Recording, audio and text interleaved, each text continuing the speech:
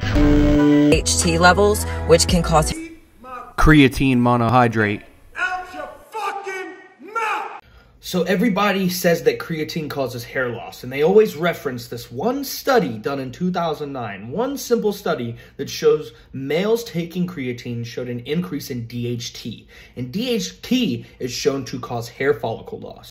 And then the kidney damage thing. People always try to say that creatine causes some sort of kidney damage, but if you do not have any type of pre-existing kidney disease, creatine is perfectly safe to take within the recommended dosage. And even when referencing these studies, we have to keep in mind that you cannot draw causation from correlation, as I've said before. There's other things we have to look at when drawing conclusions like this. Is this individual genetically prone to hair loss because they have natural high DHT levels? Are they taking DHT derivatives for their anabolic usage or supplementage, causing and contributing contributing to this hair loss. Does an individual have a pre-existing kidney disease? There's other variables we have to look at I call BS.